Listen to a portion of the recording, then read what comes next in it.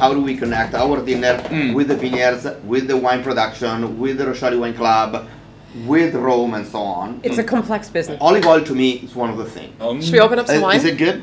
It's Yeah. delicious, honestly. No, no. Before the wine, there also there is another thing. This is a this is our private uh, Mm. cherry cask uh, of balsamic vinegar. It's actually a blend of. Uh, we gave it for free to the wine club actually with a little bit on. So we a nice every year gift. we get something.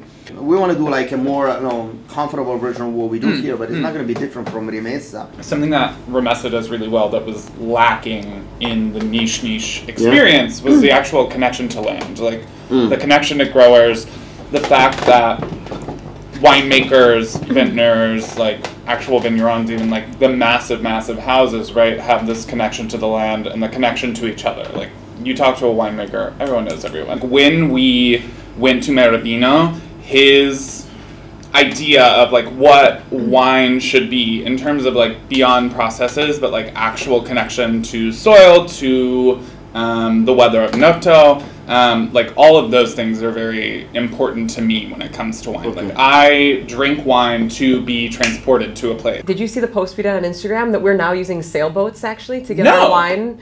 Oh, amazing! Um, Wait, is sh- it? I didn't um, know that. Is it uh, Grain de Sail?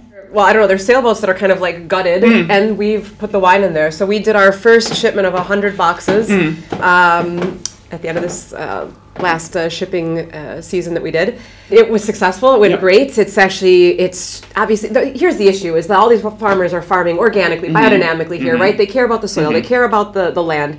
And then what do you throw them on a, a big Yeah. barge that's Yeah. just going to sit at, you know, at, at Yeah. sea for two months and completely pollute the place? Totally. It kind of goes against the concept of far, all the with all the care All that they the have here. put into the farm. Exactly.